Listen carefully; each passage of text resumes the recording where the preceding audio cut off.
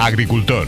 En Agrosafor te asesoramos sobre los tratamientos más adecuados, plagas, abonos ecológicos, todo tipo de sustratos y herramientas para el campo. También tenemos plantones de naranjos, frutales, plantas hortícolas y somos distribuidores exclusivos para toda la comarca de Rundup Ultimate, la solución definitiva contra la coniza. Calle Palmera, Polígono Industrial de Miramar, 962 802087. Metarexinol es un producto aplicado para el control de la plaga de caracoles y babosas, en los que somos líderes mundiales con un nuevo producto y tecnología de fabricación, aplicación y control. Es el helicida del mercado más resistente a la humedad, el más atrayente gracias a la tecnología Colzactive, el más eficaz, respetuoso con el medio ambiente. Metarexinol en Agrosafor. Dow Agrosciences, empresa líder en la protección y mejora de cultivos con Ruedo, el nuevo herbicida para cítricos de más eficacia y persistencia. Le ayudarán a mantener los suelos sin malas hierbas durante más tiempo. Ruedo, el herbicida que marcará una época. Dow Agrosciences, convirtiendo la ciencia en soluciones para un mundo en crecimiento. En Agrosafor, calle Palmera, Polígono Industrial de Miramar, 962 80 20 87. Agrosafor con Rundup, Sango y Down AgroSciences patrocinan el tiempo.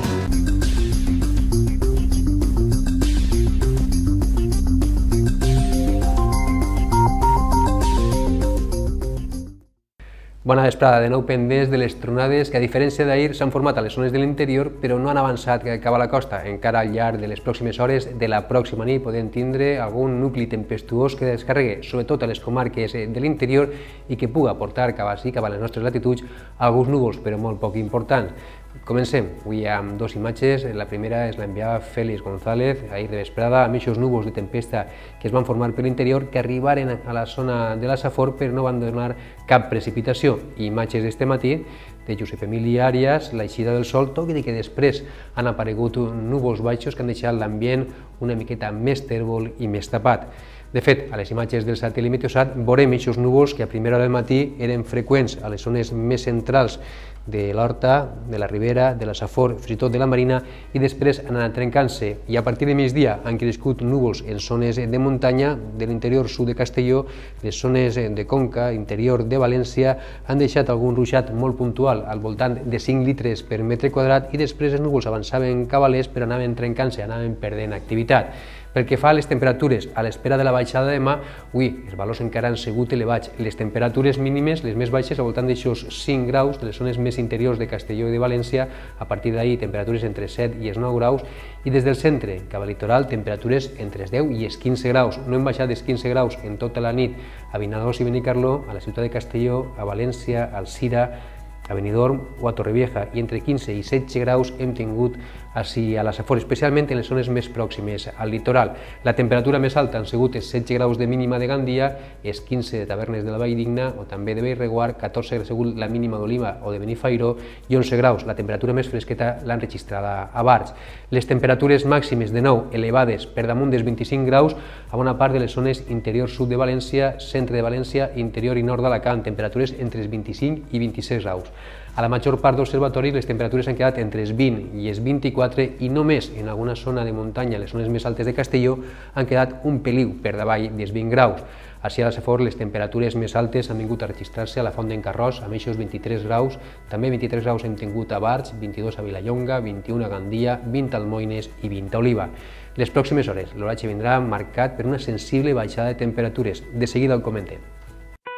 En Milà rompemos los precios. Recuerda, en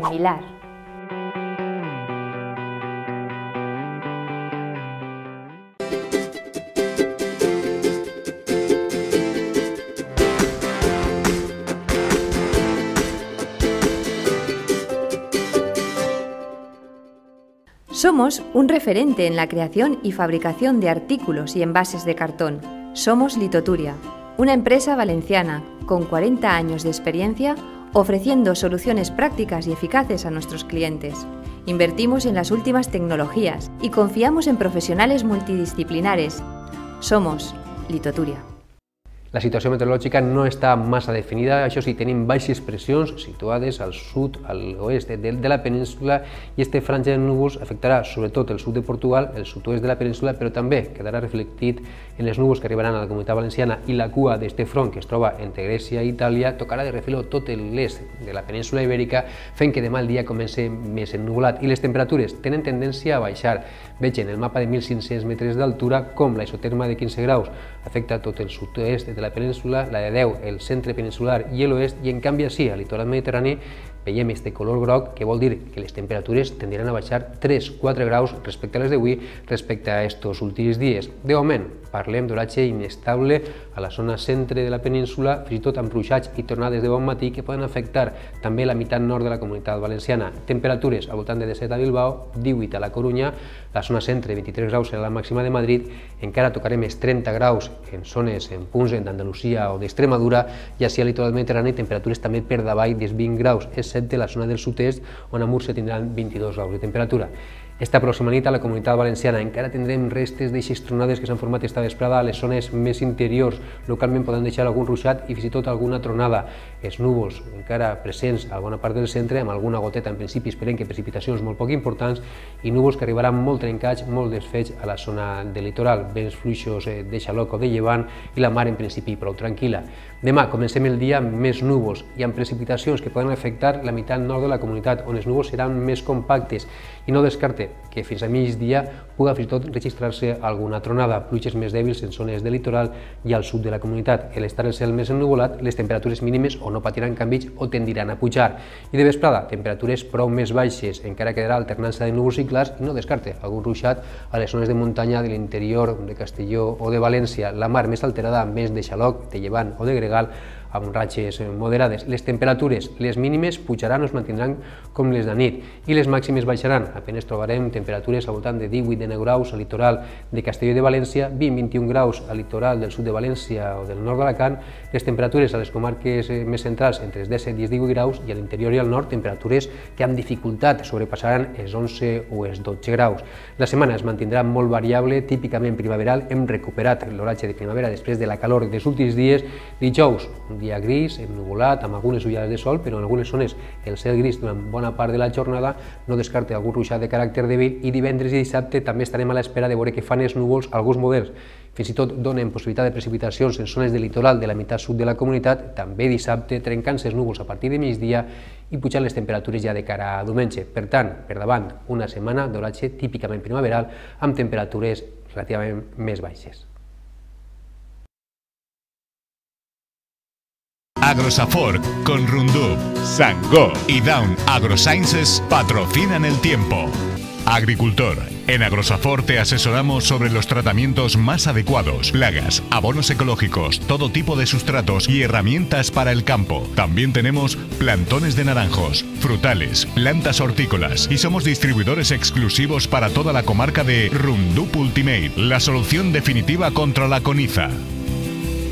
Calle Palmera, Polígono Industrial de Miramar, 962 802087.